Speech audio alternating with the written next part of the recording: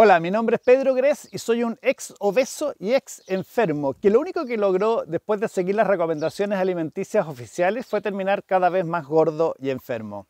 Esas recomendaciones son las mismas que se vienen haciendo en Chile desde hace más de 30 años, tanto en salud pública como en salud privada, y lo único que han demostrado es que son parte del problema y no parte de la solución. Prueba de ello es que en el 2019 Chile llegó a estar en el primer lugar de obesidad en el mundo. Hoy día estamos número 2, pero no porque lo estemos haciendo bien, es porque México lo está haciendo peor. La economía es importante, pero la salud lo es más. Si no tenemos salud, no tenemos nada. Cuando se trata de enfermedad no hay derechas, no hay centro, no hay izquierdas. Hay personas enfermas que llevan un dolor todos los días, desde que se levantan hasta que se acuestan.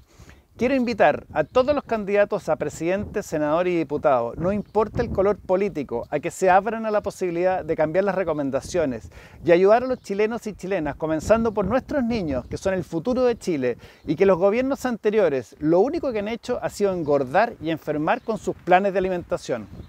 Son miles las personas que han eliminado exceso de grasa corporal, revertido condiciones como la resistencia a la insulina, hígado graso, hipertensión y diabetes tipo 2 cambiando su alimentación, sin fármacos y sin pasar hambre.